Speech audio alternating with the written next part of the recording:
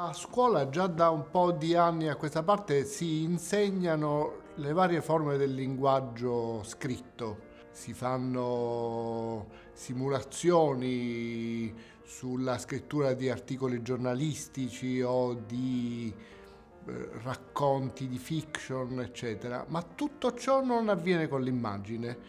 L'immagine è relegata a una funzione passiva, non la si scompone. Non mi piace di intromettermi in cose che non mi riguardano. A parte questo, non ho ben capito. Ha capito, professore. Più ricchi sono e più fanno schifo. Volgari. Volgari dentro, sa cosa vuol dire?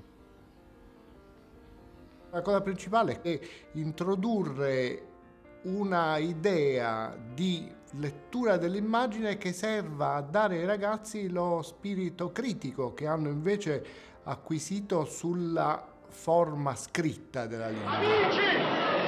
Amici! Vi parla il generale della Rovere! Calma, dignità, contenne! Siate uomini!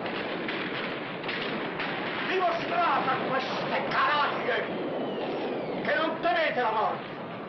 Sono loro che devono tremare.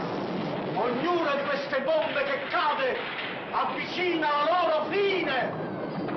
Il nostro riscatto. Se i ragazzi acquistano consapevolezza di come si crea un'immagine e su come si fa diventare un'immagine veicolo di un racconto, si arriva a capire come gran parte delle immagini che si subiscono sui social network sono in realtà costruite, hanno una, una parvenza appunto di verità che il solo fatto di pensare che per riprendere una scena bisogna sapere che quella scena avverrà, ecco che in quel momento stesso si smonta questa idea di verità attribuita all'immagine fatta col telefonino.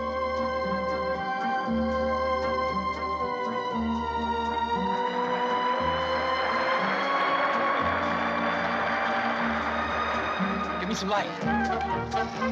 Yeah. Piano,